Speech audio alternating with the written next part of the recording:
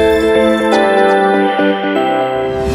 आशा, उषा, आशा सहयोगिनी के द्वारा अपनी विभिन्न मांगों को लेकर अनिश्चितकालीन हड़ताल 15 जून से जारी की गई है। परंतु भोपाल में आशा कार्यकर्ताओं के विरुद्ध हुई कार्यवाही के विरोध में शुक्रवार को शाहपुरा, उमरिया, तिराहा, मुख्य मार्ग जाम कर आशा कार्यकर्ताओं के द्वारा मुख्यमंत्री शिवराज सिंह का पुतला फूक कर जमकर सरकार के विरोध में नारेबाजी की गई है। कार्यवाही के विरोध में नारे लगाए गए। इस दौरान करीब लगभग आधे घंटे तक शाहपुरा, उमरिया, नाका, तिराहा नेशनल हाईवे पूरी तरह जाम रहा। वहीं पुतला फूकने के बाद कार्यकर्ताओं ने तहसील कार्यालय पहुंचकर तहसीलदार को ज्ञापन सौंपा। हम लोगों के लिए कोई विचार नहीं है, न हमारी जो मांगे हैं उसके बारे में कोई अभी तक चर्चा नहीं हो पा रही है, ना कोई जानकारी मिल पा रही है आपकी क्या मांग है हमारी मांग है कि हमको रेगुलर दिया जाए वेतन दिया जाए और हम लोगों को जो अ, सहयोग दिया जाता है जो वो मिल सके कब तक आपका आंदोलन चलेगा ये? पंद्रह तारीख से स्टार्ट है अभी तक कोई निश्चित नहीं है जब तक हम हम लोगों का कोई सुनवाई नहीं होगा या कोई ध्यान नहीं दे रहे हैं जब तक हम लोगों का वो नहीं होगा तब तक हम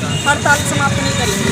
कब तक चलने का है? यानी अगर सा- अभी पता नहीं कब तक चलेगा अनिश्चितकालीन है अभी तक। जब तक पूरी नहीं होगी जब तक हम कुछ नहीं कह सकते। वॉइस ऑफ़ राइट्स के लिए शाहपुरा से संदीप गोलिया की रिपोर्ट।